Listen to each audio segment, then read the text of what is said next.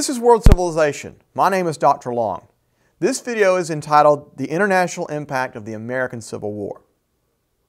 When Americans think of the American Civil War, which took place from 1861 to 1865, we typically think of this as a very important war for the United States.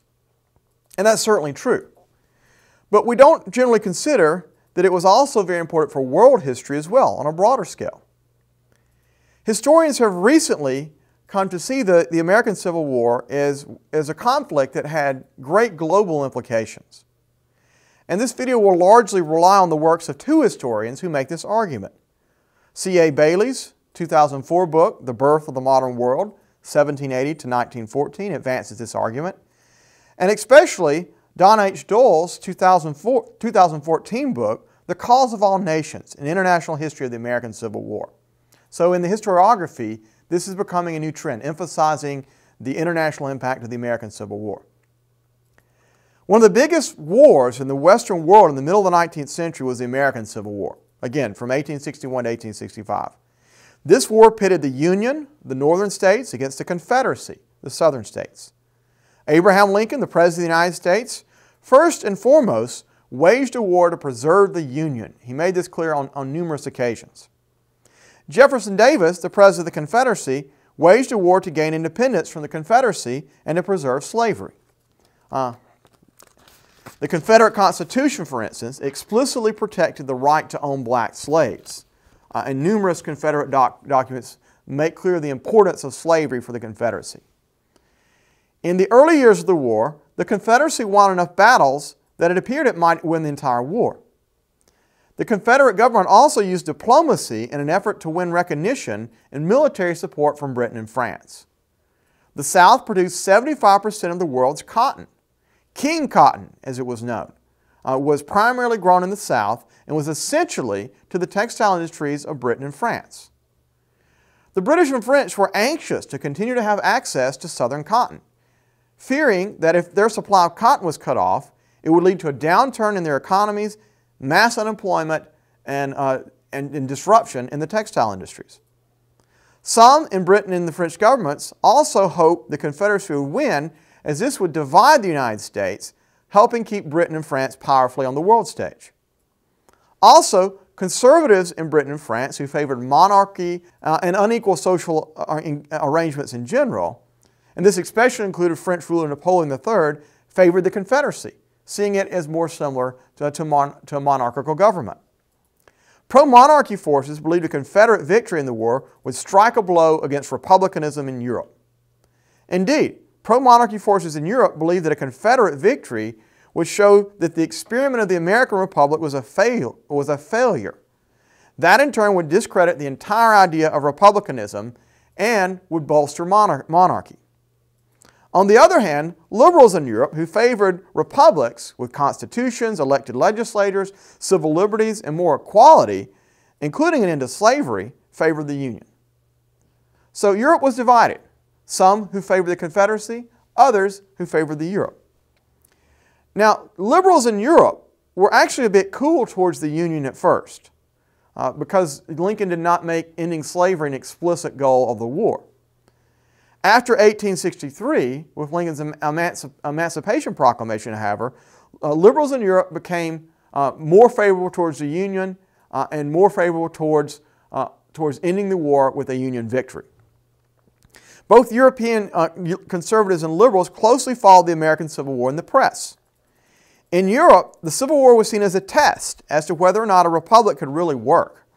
One that, that if the Americans would pass, would strengthen the hands of those who favored more democratic societies in Europe.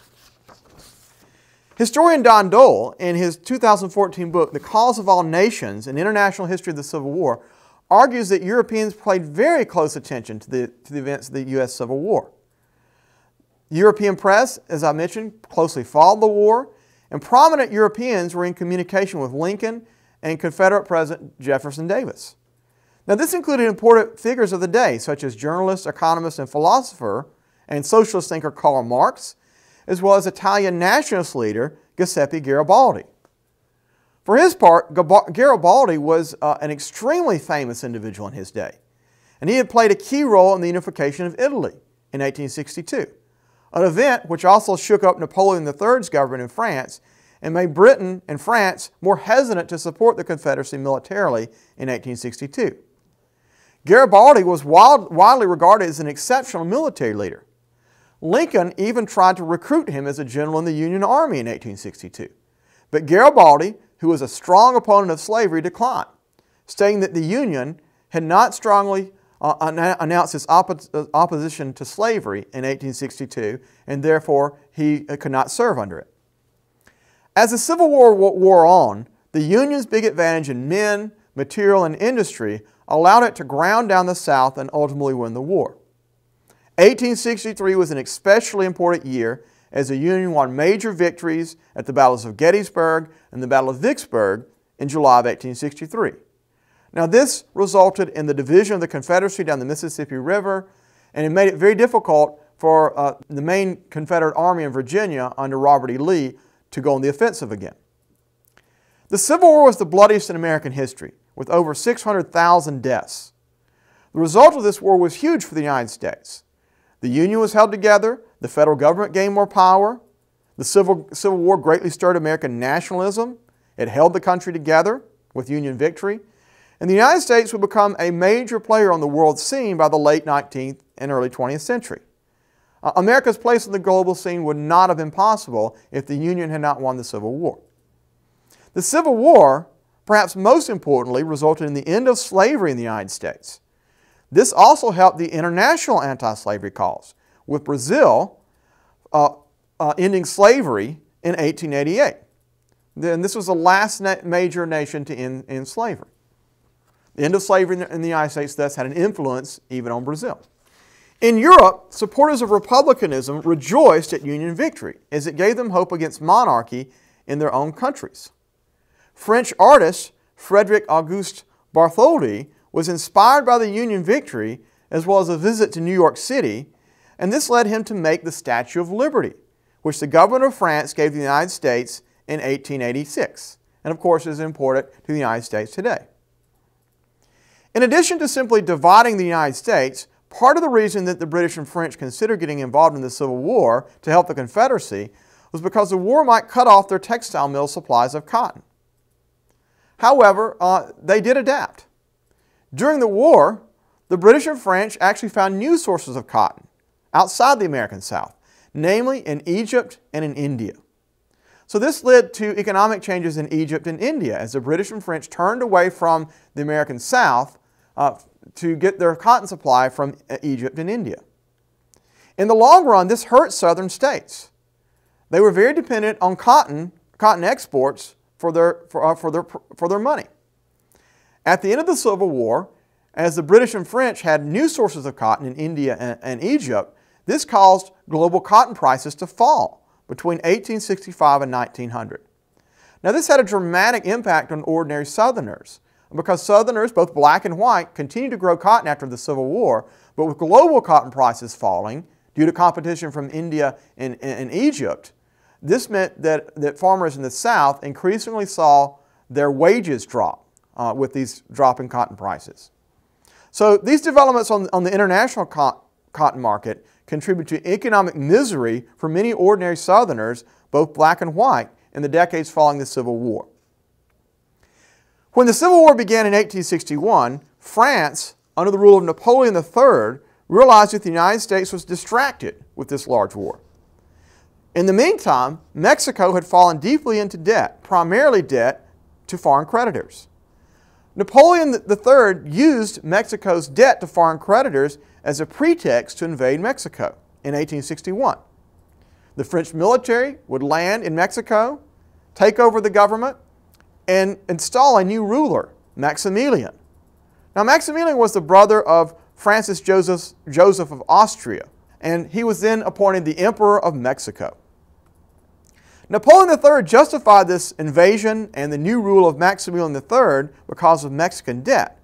But his ultimate ambition was to install a government he could control in Mexico and possibly use that to control the rest of Central America and what he thought might be a French-led Latin empire. Now this would have made a European power, in this case France, a major power in the Americas again, in the Western Hemisphere. Uh, this obviously contra contradicted the Monroe Doctrine, uh, in which the United States in the 1820s had pledged to block any further European interference in the Americas. For their part, Mexicans did not appreciate the French invasion. Mexican nationalists resisted the French uh, and they fought a war there with France. The, France got bogged down fighting in Mexico and ultimately would lose.